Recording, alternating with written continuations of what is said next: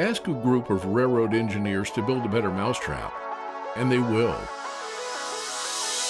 Challenged with reimagining how to inspect railroad tracks, Norfolk Southern engineers delivered.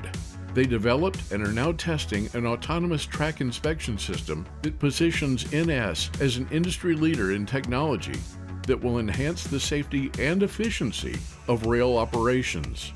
In this pilot program, Norfolk Southern deployed an autonomous track geometry measurement system mounted on a locomotive.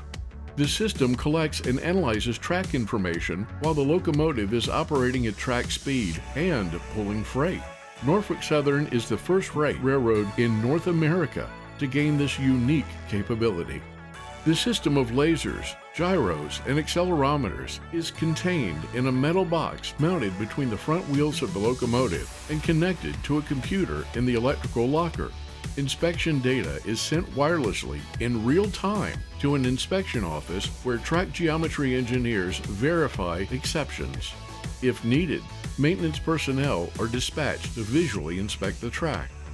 With our lasers, we're measuring down to within a millimeter of accuracy, which is a resolution you just can't see when you're high railing over the track, looking at it visually. With the locomotive-based system, track can be inspected while pulling freight. Current inspection systems are installed in converted passenger cars and pulled by a dedicated locomotive with no other cars in the train, cars that would generate revenue also, the autonomous system enables Norfolk Southern to make more frequent and precise track inspections, enhancing safety and efficiency. The engineering department mission is very simple. You know, it's our responsibility to provide a safe, fast, reliable infrastructure at the lowest possible cost. That's what we do. And this is a valuable tool which is going to help us achieve that goal by helping us find locations where we need to get work done and not wait to go find them. During development, the Norfolk Southern team conducted test inspections to compare results of the new autonomous system against results off one of our geometry cars. The defects we picked up between the two vehicles were identical. Now, the pilot program is moving full steam ahead. Norfolk Southern plans to outfit additional locomotives with the autonomous technology and explore ways to expand its capabilities.